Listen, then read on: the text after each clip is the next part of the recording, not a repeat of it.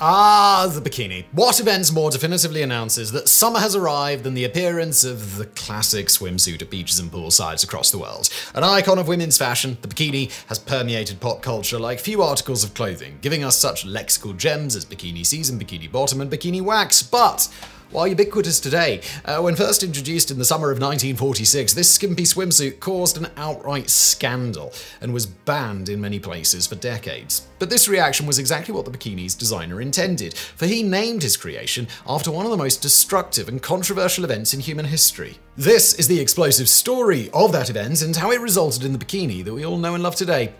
If one defines bikini as a two-piece swimsuit that exposes the navel, then such garments have existed in one form or another since the dawn of human civilization, with the earliest known depiction dating all the way back to 5600 BCE. Similarly, a mosaic in the 4th century CE Villa Romana da Casale on Sicily depicts Roman women exercising in garments that look remarkably like modern bikinis, with bandeau tops and brief bottoms. However, the rise of Christianity brought with it stricter standards for women's modesty, and such revealing swimsuits and recreational swimming for women all but disappeared from Western Europe for nearly 1500 years. It was not until the late 18th century when taking the waters, whether in a lake, spring, or the ocean, became a popular cure for all manner of ailments that female bathing finally became acceptable. And we do mean bathing as opposed to swimming, for the cumbersome bathing costumes of the day made of heavy wool and featuring full-length sleeves, a knee-length skirt, and baggy bloomers would quickly swamp and drown the wearer in anything but the calmest waters. Later, such costumes evolved into less cumbersome and dangerous flannel gowns fastened at the neck,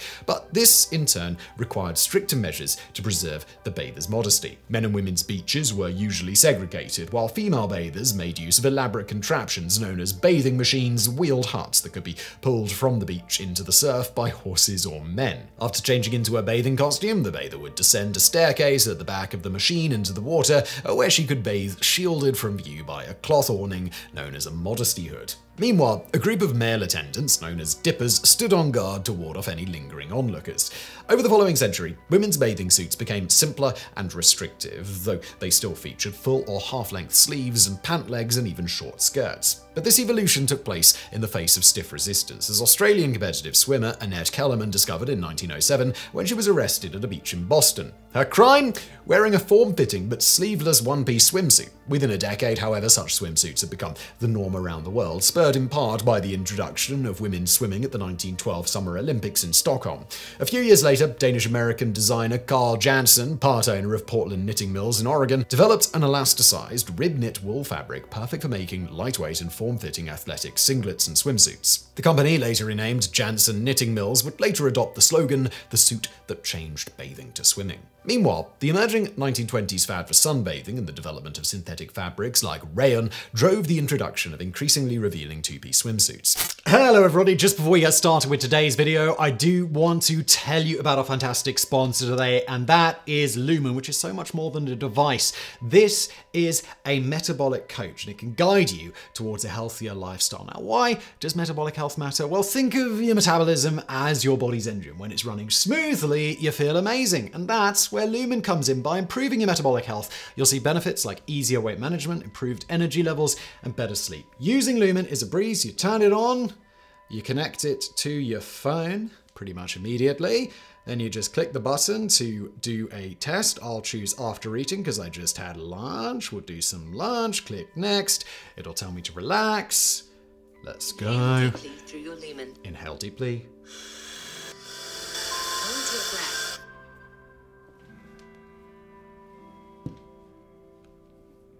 Exhale in three, two, one.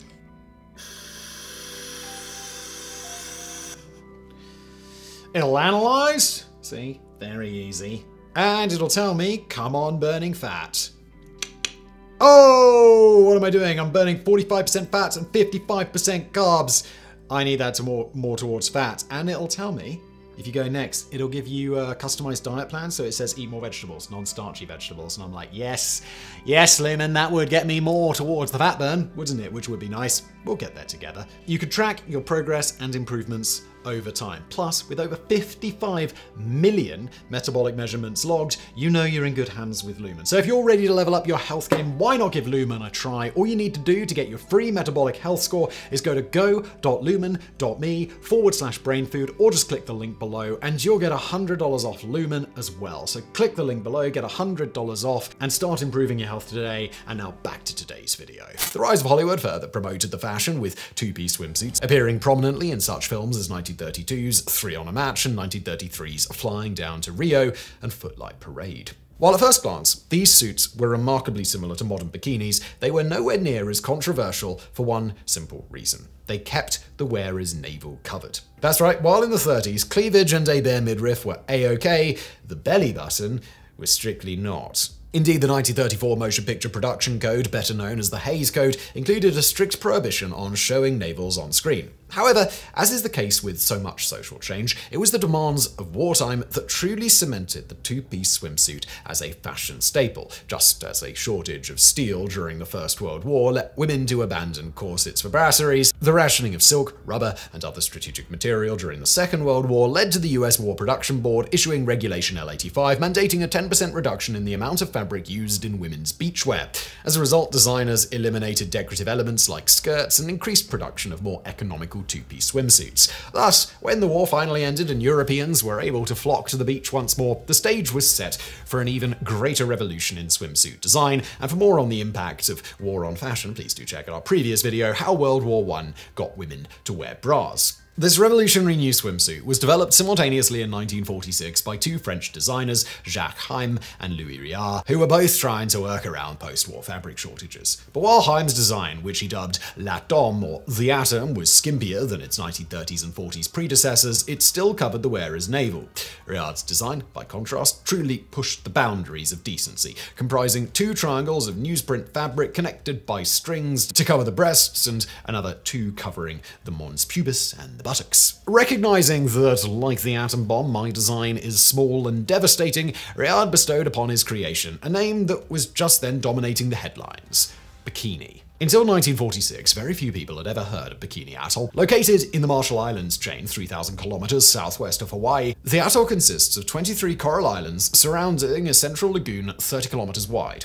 For thousands of years, Bikini was home to a few hundred Marshallese islanders who sustained themselves by fishing and cultivating coconuts. In 1885, the atoll was annexed by the German Empire, who used it as a production hub for coconut oil. Then in 1914, the Empire of Japan, at that time part of the Entente Powers, captured the Marshall Islands from the Germans and in 1920 was awarded the chain by the League of Nations as part of their South Seas Mandate. In 1941, following the outbreak of the Second World War in the Pacific, Japanese troops occupied Bikini in order to protect the nearby and strategically vital Kwajalein Atoll.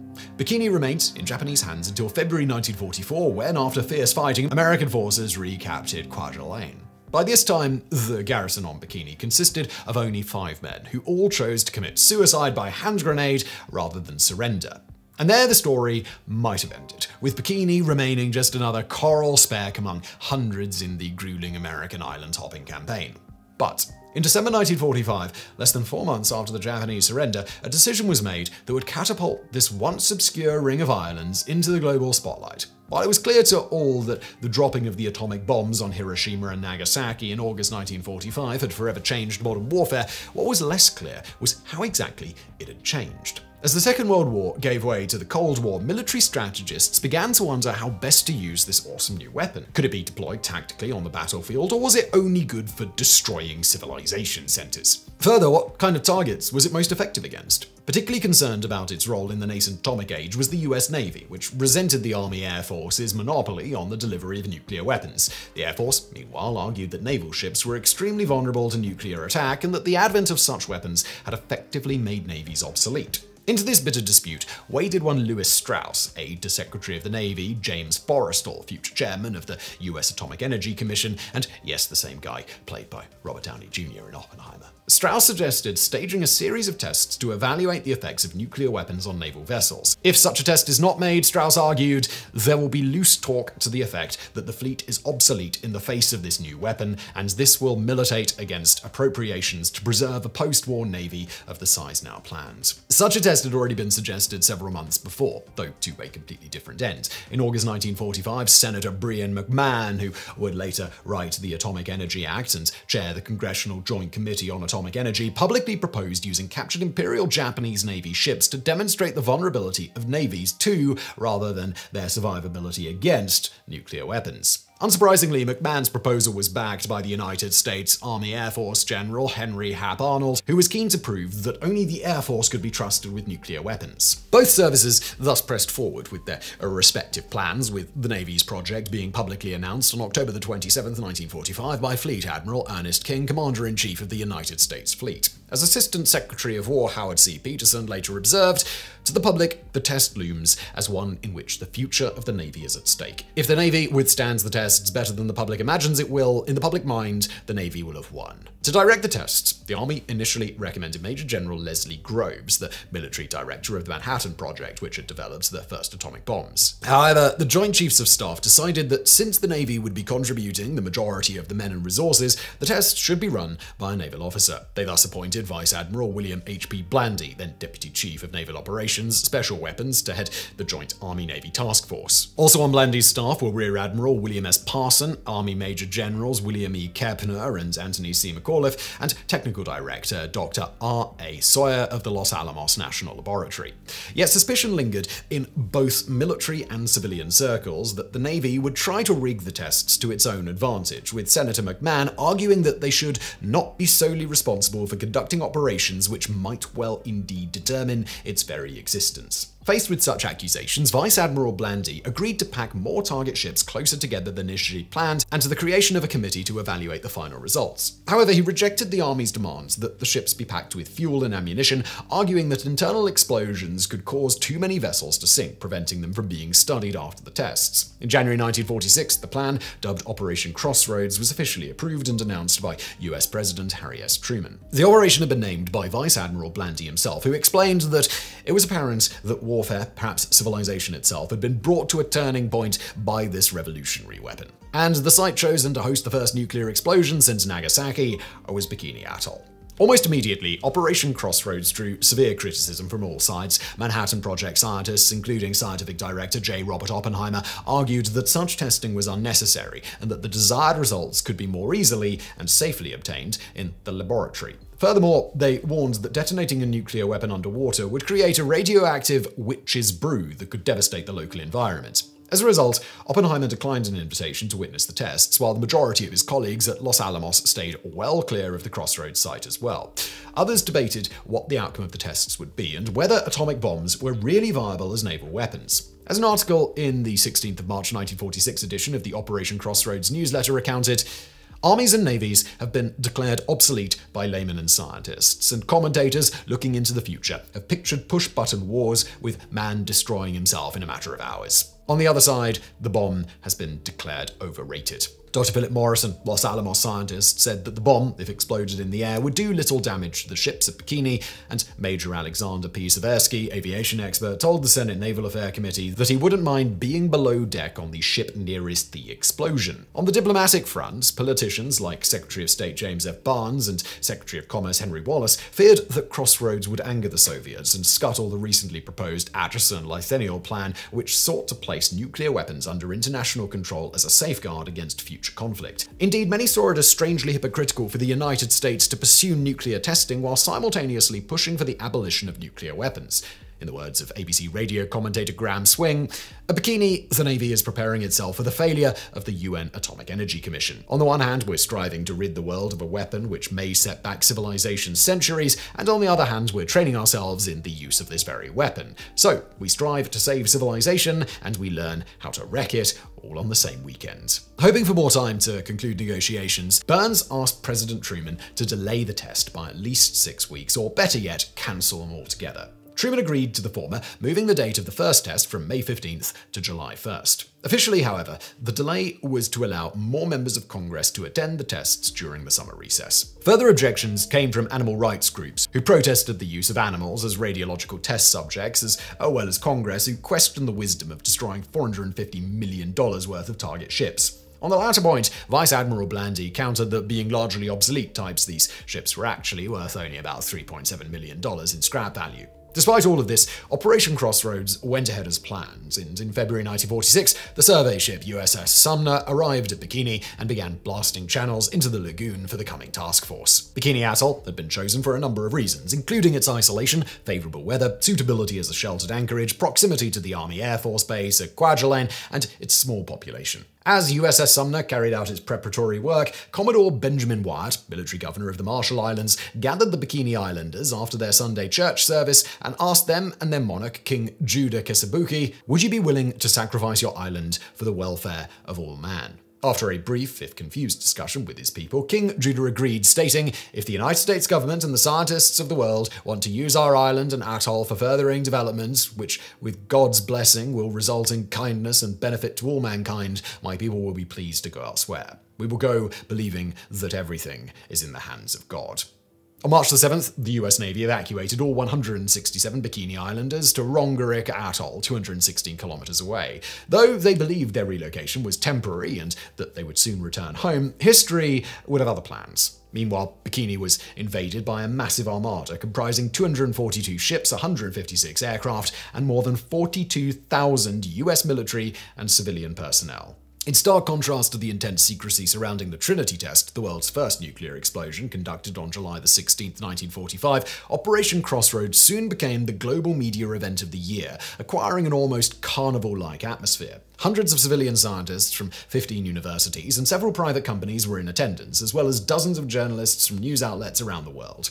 The majority of these were headquartered aboard the command ship USS Appalachian, which soon became known as the press ship. Initially, however, foreign observers were not invited, leading commentators like the Washington Post to object that, quote, the tests will fortify the world's fear that we think of the atom as our peculiar property and mean to brandish it as a weapon for our peculiar interests. It was therefore decided at the last minute to invite two observers from each member of the UN Atomic Energy Commission Australia, Brazil, Canada, China, Egypt, France, Mexico, the Netherlands, Poland, and the Soviet Union. Among these observers were physicists Simon Alexandrov and Chung Yao Chao, who would go on to play key roles in the Soviet and Chinese nuclear programs, respectively. As originally envisioned, Operation Crossroads comprised three different tests, codenamed Able, Baker, and Charlie, after the Joint Army Navy radio telephony spelling alphabet in use at the time. All three tests would use a version of the same 23 kiloton Mark III Fat Man plutonium implosion device dropped on Nagasaki, with the Able device being airdropped on the target fleet by a B 29 Superfortress the Baker device detonated underwater in the Atoll Lagoon, and the Charlie device detonated in deeper water outside the lagoon. Two of the bombs were given nicknames by the Navy personnel, the Able device being dubbed Gilda after the Rita Hayworth movie that came out that same year, and the Baker device, Helen of Bikini. Meanwhile, the target fleet comprised 95 vehicles, making it the sixth largest navy in the world at the time. The majority of these were obsolete or surplus US Navy vessels, among which were the battleships Arkansas, New York, Nevada, and Pennsylvania, the cruisers Pensacola and Salt Lake City, the aircraft carriers Saratoga and Independence, as well as 16 destroyers, 8 submarines, and various other amphibious assault and auxiliary craft. Intriguingly, two of the battleships, Nevada and Pennsylvania, were survivors of the December 7, 1941 attack on Pearl Harbor, which had drawn the United States into the Second World War. Having witnessed firsthand the revolutionary power of naval aviation, these old war horses uh, would now be ending their careers facing off against yet another game-changing weapon. Rounding out the target fleet were three vessels captured from the Axis powers, the Japanese battleship Nagato, the light cruiser Sakawa, and the German heavy cruiser Prinz Eugen. The symbolism of publicly annihilating these tokens of two defeated enemies was not lost on those in attendance. Operation Crossroads was many things, but subtle was absolutely not one of them. The target ships were anchored in a roughly circular array, 2 kilometers in diameter, 6 kilometers southeast of the main island of Bikini. At the center of this array was USS Nevada, painted bright orange to serve as the aiming point for the bombardier. The ships were loaded with sample complements of fuel and ammunition, while some 25,000 scientific instruments, including radiation detectors, pressure gauges, and both still and motion picture cameras, were arranged inside and outside the hulls on the support ships anchored 35 kilometers away and aboard instrumented aircraft circling overhead. Indeed, more than 9 million still images and 1.5 million feet of motion picture film would be shot over the course of the operation, accounting for nearly half of the world's supply of photographic material at the time. To gauge the biological effects of flash and radiation, 5,664 animals, including 200 pigs, 200 mice, 60 guinea pigs, 204 goats, and 5,000 rats, were penned above and below decks on 22 target ships. Some animals had their fur shaved to simulate the effects on human skin, while others were dressed in standard Navy anti flash clothing or smeared in anti flash cream. In the wake of the detonations, remotely operated drone aircraft, including Grumman F-6F Hellcats from the aircraft carrier USS Shangri-La and Boeing B-17 Flying Fortresses from Enewetak Atoll, would be flown through the mushroom cloud to collect radiation samples. It was, in other words, to be the largest and most well-documented scientific experiment in history. Able's day finally arrived on July 1, 1946. The B-29 Superfortress, Dave's dream of the 509th Bombardment Group, took off from Kwajalein and at 9am local time dropped Gilda onto the target fleet. The bomber, originally named Big Stink, had been the photographic aircraft of the Nagasaki mission, but was renamed in honor of Dave Semple, a bombardier who was killed during a practice mission on March 7, 1946. And for more on that often forgotten mission, please do check out our video, Target Nagasaki, the forgotten story of Charles Sweeney and Boxcar on our sister channel, Higher Learning. Accompanied by a live radio countdown by Dr. Ernest Titterton, a British Manhattan Project physicist who later headed the British Atomic Bomb Project, Gilda detonated at an altitude of 158 meters meters. After the blinding flash subsided, a giant orange-brown mushroom cloud rose over the lagoon. Quote, For minutes, the cloud stood solid and impressive, like some gigantic monument over Bikini. Then finally, the shearing of the winds at different altitudes began to tear it up into a weird zigzag pattern.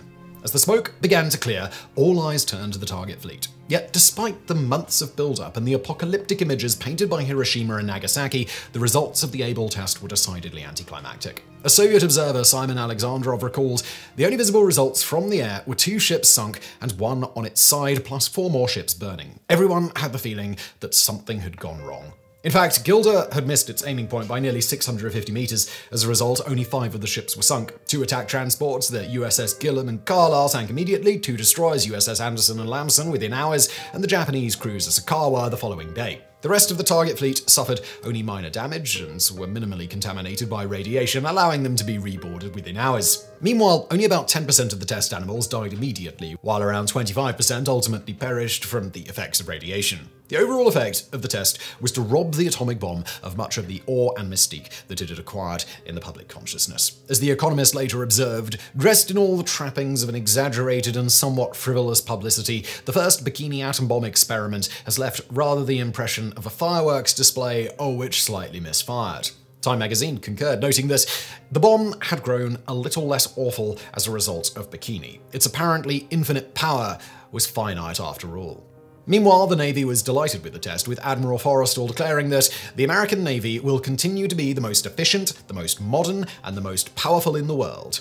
Unsurprisingly, the Navy was accused of rigging the test in its favour. However, a thorough investigation failed to determine the exact cause of the overshoot, with the most commonly accepted theory being that one of the bomb's box fins collapsed as it fell towards the target. But while the Able detonation made the atomic bomb look like something of a damp squib, Baker would reveal the weapon's true destructive potential and yield some of the most iconic and enduring images of the nuclear age. For this test, Helen of Bikini, identical to Gilda in design and yield, was suspended 27 meters beneath the target fleet from the amphibious assault ship LSM-60. Detonated at 8.35 am on July the 25th, the Baker shot produced a unique and awesome spectacle that was unlike anything seen before or since. As the New York Times correspondent William Lawrence wrote, for a time it looked as though a giant mountain had risen from the sea, as though we were watching the formation of a continent, and then it took the shape of a giant chain of mountains covered with snow glistening in the sun. Major General Nichols of Vice Admiral Blandy's staff also described the awesome spectacle. Niagara Falls in reverse, shot up over an area fully 2,200 feet in diameter, millions of tons of water, rose about 5,000 feet, and finally, vapor and steam came out on top. As the tons of water came tumbling back onto the lagoon, what appeared like a tremendous breaking wave broke out of the mass of water and advanced towards the next circle of target ships. Still, and moving images of the test reveal the sheer scale of the explosion, with even battleships like Nagato and Nevada looking like toy boats next to the gargantuan cauliflower-shaped water column thrown up by the bomb. The underwater blast proved far more effective than the Able airburst, completely vaporizing LSM 60, displacing 2 million tons of water and creating a tsunami that immediately sank the battleship USS Arkansas, the submarines USS Pilotfish, Apogon, and Skipjack, and the concrete yard oiler YO 160. Contrary to popular belief, Arkansas was not lifted vertically by the blast. The dark vertical object seen in many pictures of the Baker Water column is merely a gap produced by Arkansas's superstructure. Instead, the shockwave and tsunami completely sheared off said superstructure and rolled Arkansas onto its back, whereupon the battleship immediately flooded and sank to the bottom of the lagoon.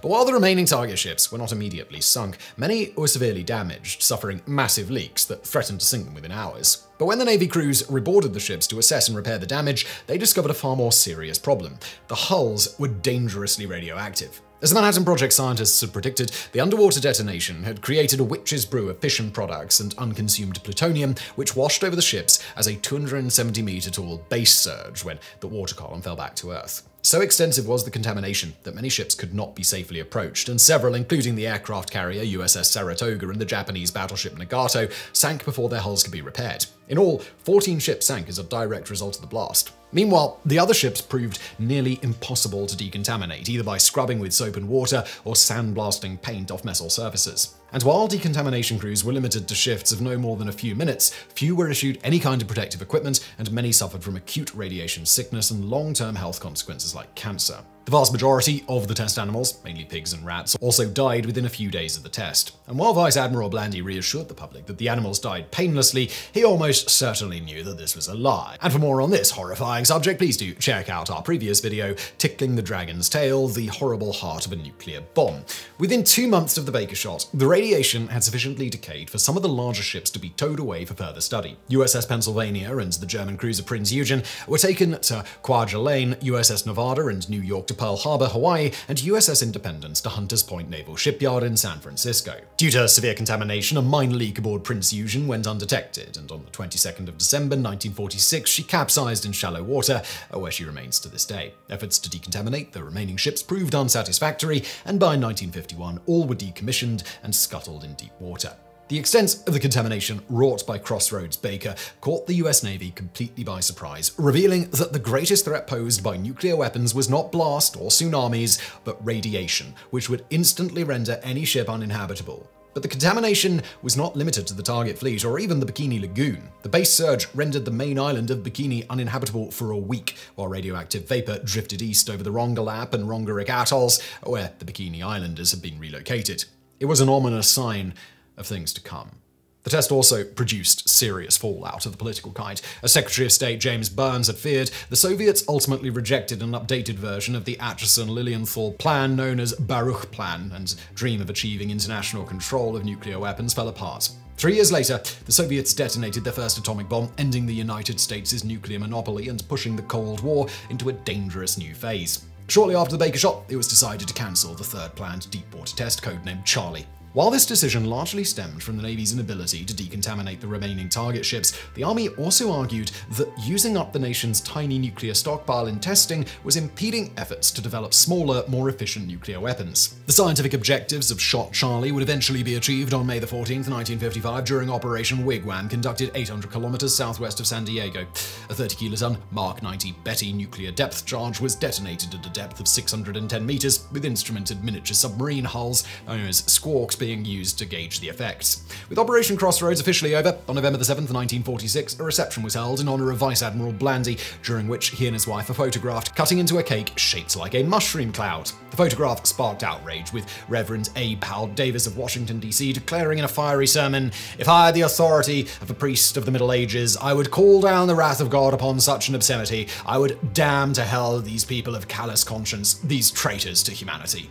Indeed, Blandy and his staff were faced with a difficult public relations situation. Though originally intended to allay public fears about nuclear weapons and demonstrate the invulnerability of the US Navy, Operation Crossroads had achieved just the opposite, stoking nuclear malaise to an all-time high. Indeed, a 1947 report on the tests in Life magazine informed viewers that if all the ships at Bikini had been fully manned, the Baker Day bomb would have killed 35,000 crewmen. If such a bomb were dropped below New York's battery in a stiff south wind, 2 million people would die.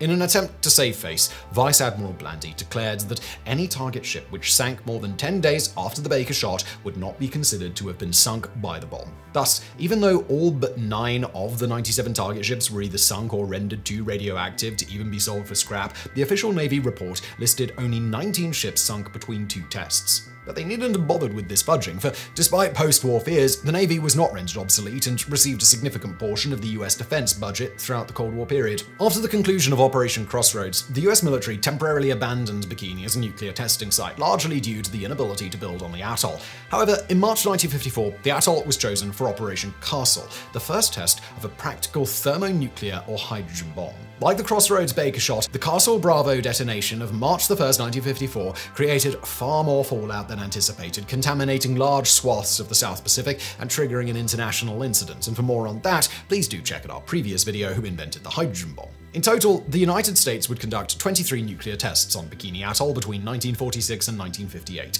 Meanwhile, the relocation of the 167 Bikini Islanders to Rongerik Atoll had failed due to the island's inferior climate and productivity. Thus, after several months of starvation and hardship, the islanders were moved to Kwajalein Atoll. In 1970, Bikini Atoll was finally declared safe for human inhabitation, and the islanders were allowed to return. However, less than a decade later, it was found that levels of cesium-137 in the islanders' bodies had increased by 75%, the isotope having become concentrated in coconut palms and other common food plants. As a result, in 1978, the Bikini Islanders were evacuated once again, this time to Kili Island. Their descendants remain there to this day, waiting for the day when they can return to their traditional home. It was against this explosive background that Louis Réard launched his bold new swimsuit design that he nicknamed the Bikini. The first modern bikini was introduced on July 5, 1946, just four days after the Crossroads Able test, at a popular Paris pool called Piscine Molitor. Oh, I've been there.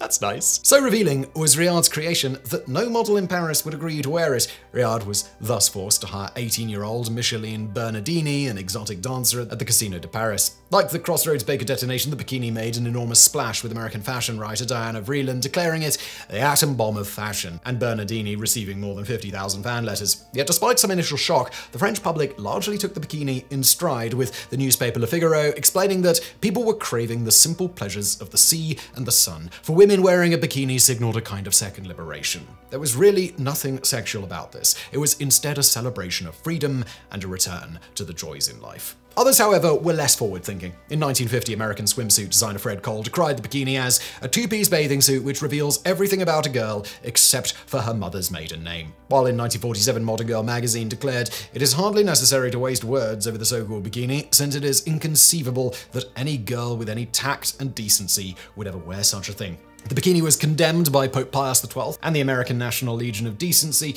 uh, while wearing the swimsuit in public, was banned on the French Atlantic coast, as well as in Belgium, Italy, Portugal, Spain, Australia, and many other countries. In response to this moral outrage, Réard's rival Jacques Heim emphasized the more conservative cut of his Atom swimsuit. Réard, by contrast, leaned into the controversy, declaring that a swimsuit couldn't be called a bikini unless it could be pulled through a wedding ring. But as with the transition from one to two piece swimsuits, it was Hollywood which truly turned the bikini into a fashion staple. Throughout the 1950s, popular actresses and sex symbols like Ava Gardner, Rita Hayworth, Marilyn Monroe, Esther Williams, and Betty Grable took advantage of the controversy surrounding the bikini to sell millions of risque swimsuit pinup shots. Feature films such as 1952's Manina the Girl in the Bikini, 1962's Dr. No, 1963's Beach Party, and 1966's One Million Years BC, which featuring bikini-clad leading ladies Brigitte Bardot, Ursula Andress, Annette Funicello, and Raquel Welch, further served to legitimize the style in the popular imagination, as did songs like the 1960 Brian Hyland hit Itsy Bitsy Teeny Weeny Yellow Polka Dot Bikini. By 1965, the once scandalous bikini had become fully mainstream. Today, the bikini is so ubiquitous that the original apocalyptic connotations of the name have all but been forgotten. Once synonymous with the anxieties of the nuclear age, today the world largely evokes images of another kind of bombshell